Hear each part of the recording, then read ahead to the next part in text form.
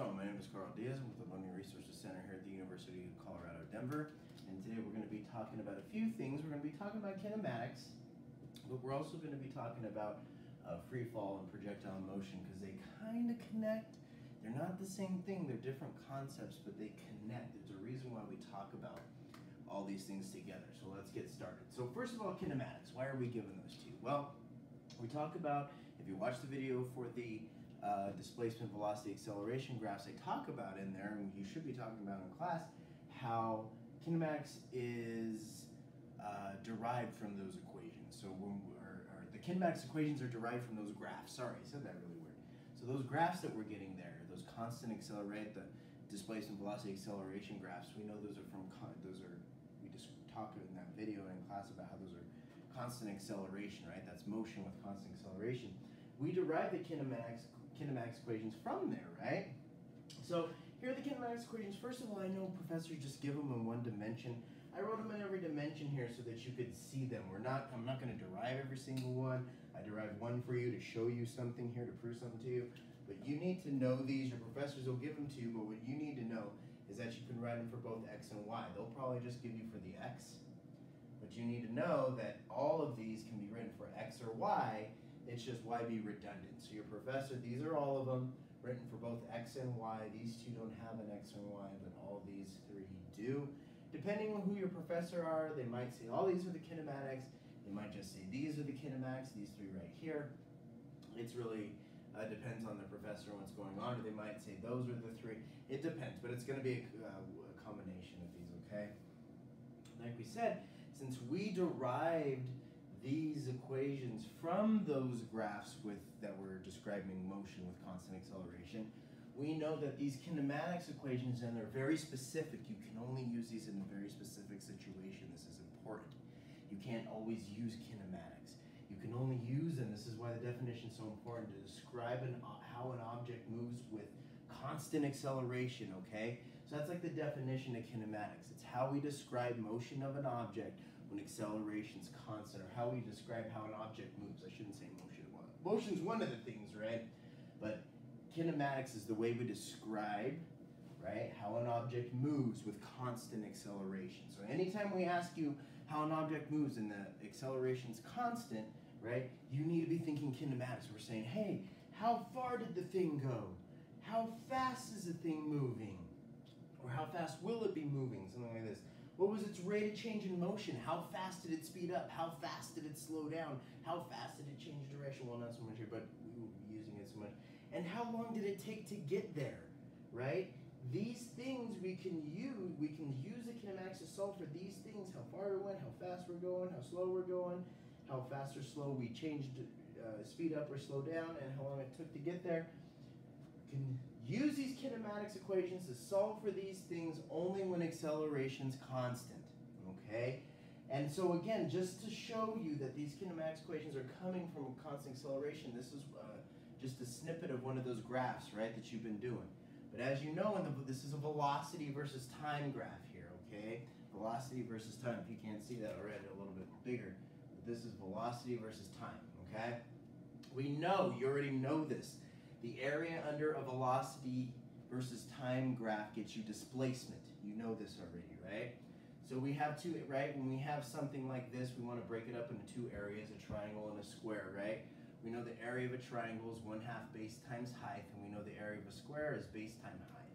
But since this is velocity times time, we can change these letters, right? We, we know the height will be velocity, right? A value of velocity. We know the the, the base will be some value of time. So we can rewrite the area of uh, the triangle for this graph specifically saying that it's one half, right?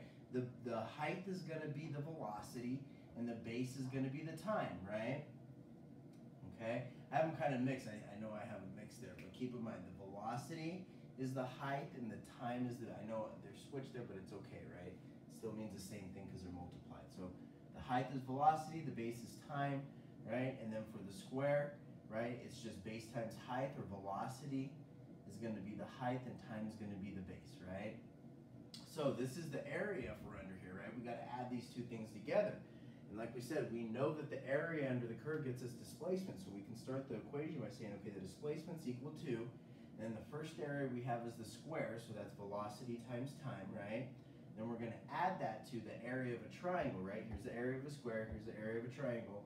We're gonna add the area of a square, which is velocity times time using the variables in the in the graph, right? Plus one half vt or one half one half base times height or one half velocity times time, right? They're the same thing, right? I just explained how they're the same thing, so they're the same thing.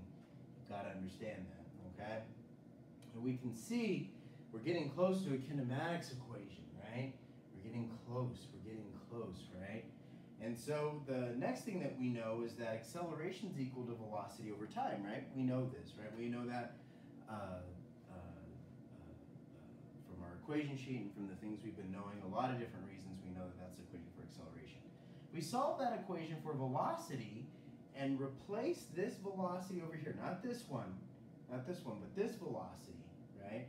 We replace it with a times t, we get this combination of one half, right? Times A, right? Well, the A is going to come in. Remember, A is replacing V. V is being replaced by A times T. So there's A times T. Maybe I should write that a little bit more clear so you can see it. There's the A times T that's being, that the V is being replaced by, and there's the T that was already there. That's probably a lot more clear, right? And there's the one half that was already there. So we're just replacing that V by A times T. And then T times T, right, is T squared. That A doesn't get multiplied. It does, but I mean, it doesn't make change anything in the equation, right? But when those two T's get multiplied, they'll turn into T squared. And look at that. We have this kinematics equation. Displacement's equal to V, and we know that this is the V initial because this was the initial velocity, right? So uh, V initial times time plus 1 half AT squared, right there. So that's how these, equa these equations came from those graphs. So they can only be used acceleration is constant because this graph is when acceleration is constant, right? The slope is acceleration, the slope is constant, acceleration is constant here. It's either zero or constant, right? But it's not changing. Acceleration is the slope, acceleration is constant because the slope's constant, okay? So we know this, okay? It's super, super, super important that you understand this, okay? That it can only be used when acceleration is constant, okay? So that means it can only be used when net force is constant. Well, how do you know when net force is constant? Well, yeah, that's where Newton laws come in, right? If you use Newton's second law, right, and you get an equation, right, you're going to use Newton's second law, which is the sum of forces are equal to ma, right?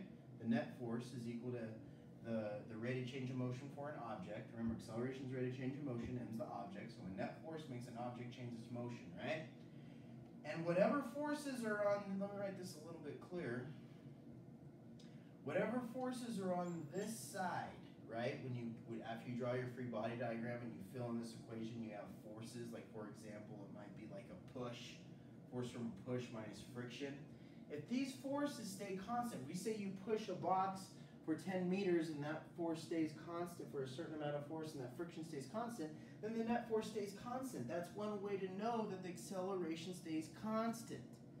Okay, the other way to know is to make sure that the mass stays constant, right? Because if you solve this acceleration, it's F net over m, so you want to look at that, okay? If you want to know what your acceleration is, do this equation, make sure that the net, for whatever the forces are in terms of your net, stay constant, and make sure that your mass stays constant, okay? And if they do, then acceleration stays constant. You can use these kinematics equations to do what?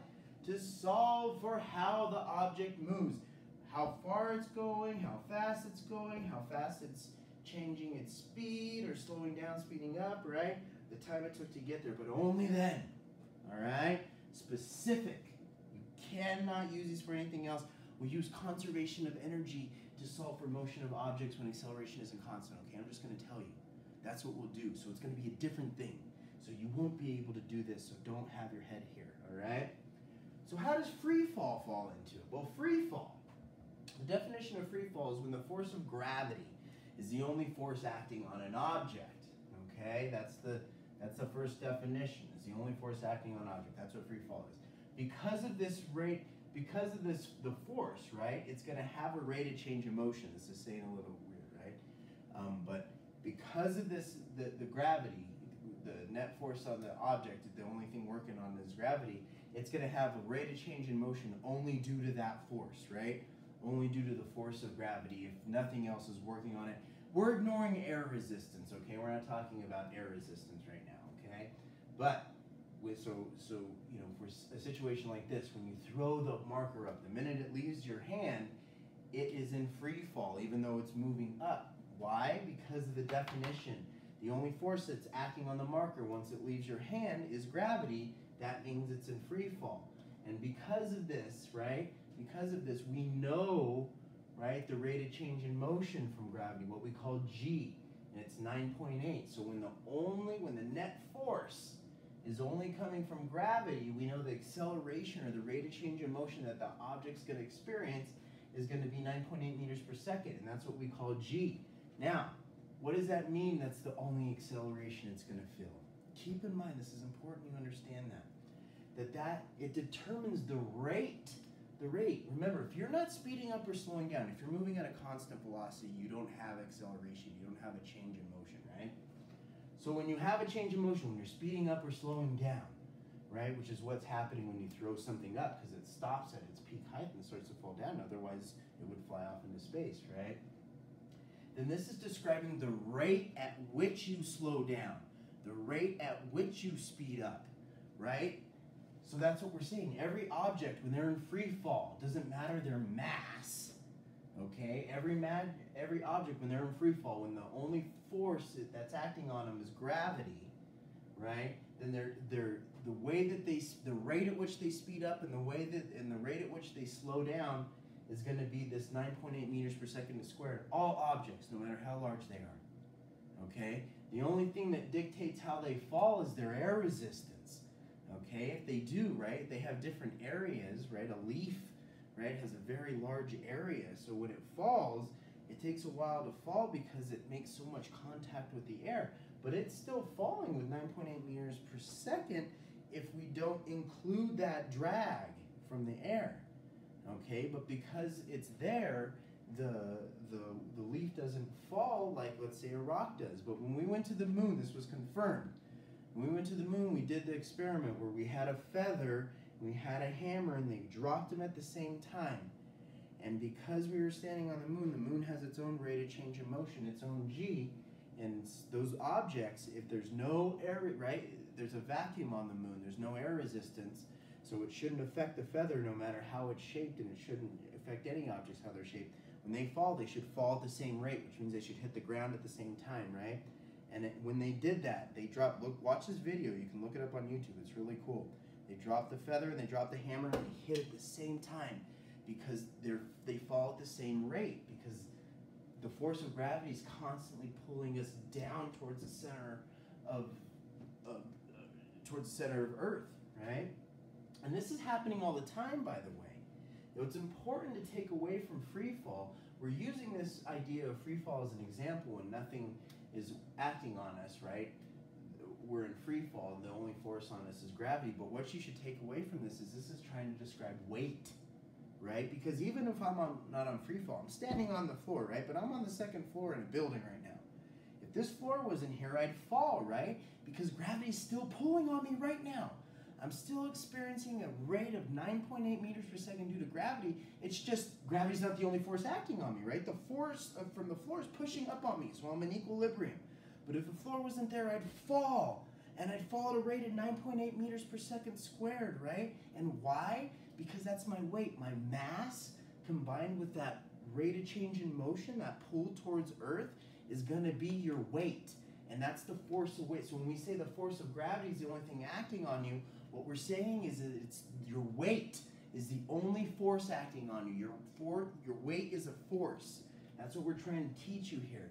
And when you're in free fall, your weight is the only force acting on, or if an object's in free fall, the weight of that object's the only thing acting on it. But another way to say that is the only thing acting on the object when it's in free fall is the force of gravity. But you have weight always, right? Why do you have weight no matter where you stand on Earth? Because the Earth is still trying to pull you down. How much of a rate is it trying to pull you down? 9.8 meters per second squared, right? It's always trying to do this, right? And if you don't have something large enough counteracting, a force counteracting that, right? If you try to stand on a tissue paper, you break through the tissue paper. Why? Because your weight, right? But what is your weight? Your weight is just your mass combined with how much the earth is pulling down on you, right? But if you have enough, something large enough, enough force to counteract you, like a floor, like I'm standing on the second floor, it's counteracting that. I'm not falling through the floor like it would if a tissue paper tried to hold me up on the second floor, right? So this is trying to describe weight. Keep that in mind. That's a big takeaway, all right? Is this, but really, just understand the definition of free fall. It's the only, it's when the force of gravity is the only thing acting on an object, but we're also talking about weight, all right? Free fall can also be described as when weight is the only thing acting on the object. The weight of the object is the only thing acting on it. So, because of this, this will always be true. You got to memorize this stuff. This is the concepts to memorize here. You have to know this stuff to solve the questions. You'll see why in a second. Okay? But what's always true, if we know this idea of free fall, we take this definition of free fall in, right? We can say some things, okay?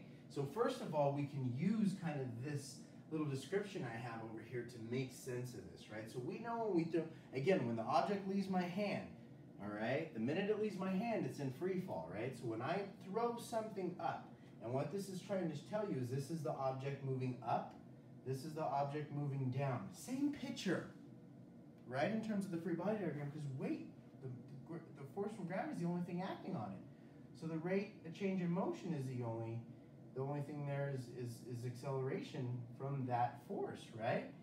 And so we have different velocities trying to describe that, but in terms of whether we're going up or coming down, it looks the same, right? This is also something we call a motion diagram. It's a ball, but you also can think of this as a dot, right? So when I throw an object up, as it starts to go up, it starts to slow down. How do I know this? Because it stops at some point. If the marker didn't stop at some point, it would fly off into space or into the ceiling, right? But it stops at some point, right? So when you throw something up, it stops. And as these, as this picture, you see these space closer and closer together, that's what that means. It's getting slower. We're thinking of these as snapshots, taking it a second apart. But we see every second it's not covering as much distance, right? So that's telling us it's slowing down. We know the initial velocity was tossed up. That's what that's telling us here, okay? Now when we reach max height, our velocity is zero, but that's our speed. Our speed is zero, all right? We're still changing direction. And remember, velocity is both speed and direction. So if we're changing direction at the top of our, at the, at, up, at the peak of the height, we're stopped in terms of our speed, but we still have acceleration. We have max acceleration. We have the rate of change of motion due to gravity because there's no other force acting on us up there besides weight. But what it's doing at that moment is it's turning the object around to bring it back down. So there's still max acceleration even though there's zero speed, or we can say there's zero velocity. Its max velocity at its peak height is zero or its minimum, however you want to say it, the velocity at the peak height of your throw is zero. It has to be. It has to stop. Said it would go into space, but it's still experiencing an acceleration of 9.8 meters a second down. But what is it doing? It's changing direction. So there's still a change in velocity, right? And then it starts to speed up and come back down, right? So then it starts to get velocity again, right? But it's so when we throw it up, we're going to throw it up with a certain speed, and it's going to reach a height where it's going to be zero, but acceleration is going to be max. I shouldn't say max, it's going to be g, but it's g the whole time, right, or 9.8 meters per second. And then over here, when it starts to fall down, again, this is the same thing, right? They're getting further apart as we as we get close to the ground, which means it's speeding up. But this is the same thing, just moving down. The initial velocity, it starts at zero, but then comes back down with a certain velocity right? And reaches your hand with a certain velocity. If there's no air resistance, believe it or not, these velocities will match. The velocity you threw it up with and the velocity you catch it with will be the same, okay? And the max heights will be zero, okay? That's what this is trying to tell you. This will always be true, all right? So at the max height, max height, velocity will be zero, but acceleration will be 9.8. It will be there. It will be maxed out because you cannot connect acceleration to velocity. Okay? Velocity can be just your speed, right? Or the direction you're pointing. Acceleration is your change in motion. So if you have a change in motion, which is what the object's doing at its peak height, it's, look, changing motion. You can see it, right? Can you see that? It stops and comes back down. There's a point where it stops and comes back down, right? So there's a change in motion. So even though its speed is zero, its acceleration is g at the max height. Okay, otherwise if it didn't stop, it would keep flying up. And then on the way down, right, its velocity, it starts at an initial velocity of zero and then starts to speed up down, right? But it's experiencing g the whole time. That's important to know. That's what free fall is, right? The best example of it is just like drop, right? A good example is just dropping a rock, right, or something like this.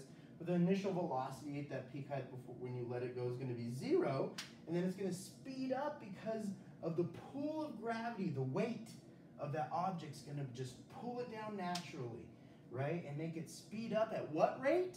It's going to speed up at a certain rate, right? It's going to go dun, dun, it's going to start speeding up, getting faster and faster and faster, but not at some random rate, at a rate of 9.8 meters per second squared, right? Because this is the rate at which something speeds up and at the rate at which something slows down. So when I throw this marker up, it's slowing down at a rate of what?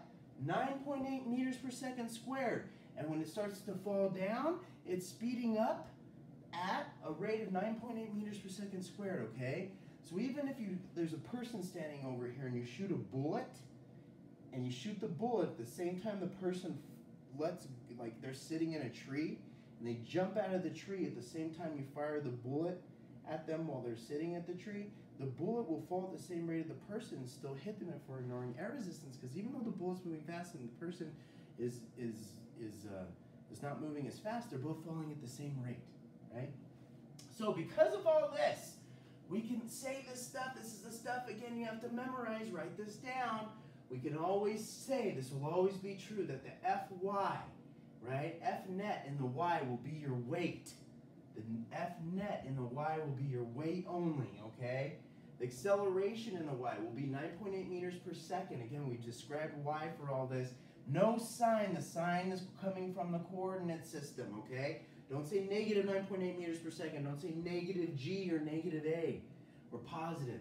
It's up to the coordinate system. If, if down is positive, then this is positive 9.8 meters per second. If down is negative, then this is negative 9.8 meters per second, okay? It's a value. The sign, it's a vector, so the sign is coming from the coordinate system, okay? Velocity in the y is changing, as we said. And because of this, the velocity at peak height is zero, always, no matter what situation. We'll talk about this, but this has to be memorized. You have to know this, okay? And if we're talking about two dimensions, playing catch with someone, something like this, right?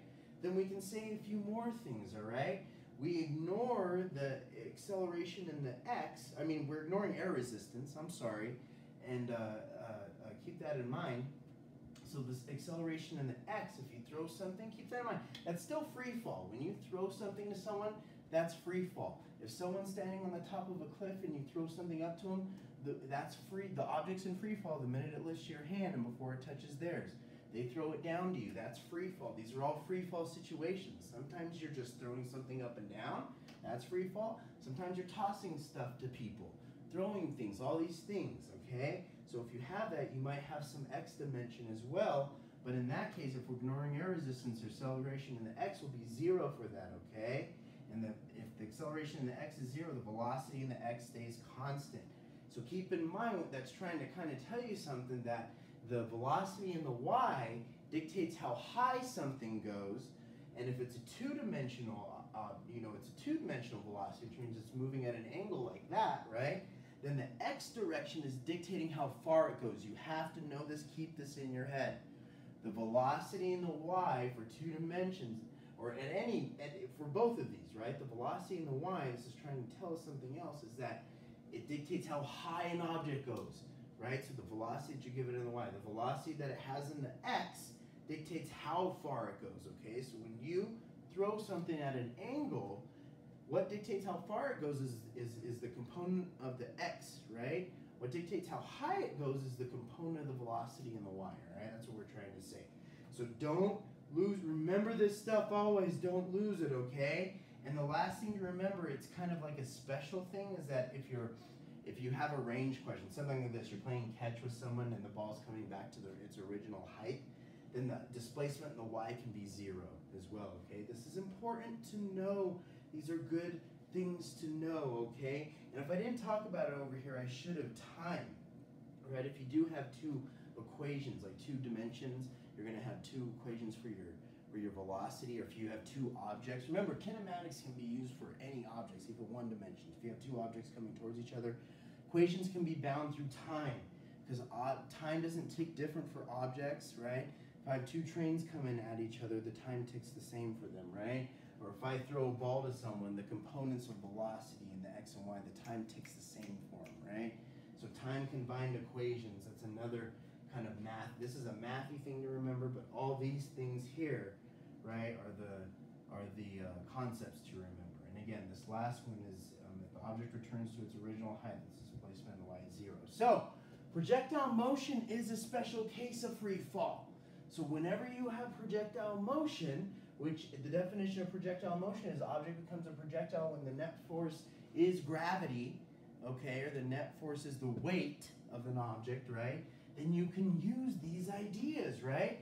So what if you kick a ball off a cliff, right? When you kick the ball off the cliff, the initial x velocity will have some number, but the initial in the y will be zero. Where's that concept coming from? Right here. At peak height, the velocity is zero. This is peak height going to come down somewhere, right? So we say the velocity in the y. Keep in mind, the velocity at peak height is zero. So this is the velocity in the y at peak height. I want to make sure that's clear is zero, okay? But the velocity in the x, you're going to have something when you kick it off, right? So you're going to have some number, but make sure you use that there. That velocity at this max height is zero. Then when it gets down here, unless it drops directly down, then it won't have any x velocity if it just falls straight down, right? But if it hits the ground at an angle, it's going to have some final x and final y velocity, right? So the things that we can always write for this, no matter what they tell us in the problem, is that the acceleration in the y is 9.8 meters per second squared. It's going to always be true for this situation. You can always write it down. Acceleration in the x is 0. The sign for displacements come from the coordinate system. So does all this stuff, right? We talked about this. The sign for acceleration comes from the coordinate system. Sign for velocity comes from the coordinate system. Sign for displacement comes from the coordinate system, okay? So even though if you're falling down here, but if we say down is positive, your displacement's positive, right? If we say down is negative, then your displacement's negative, okay, when you come down here. That's what I'm trying to say. So you use your coordinate system. We solve problems on other videos where I do this, and that's where you'll, you'll see that, right?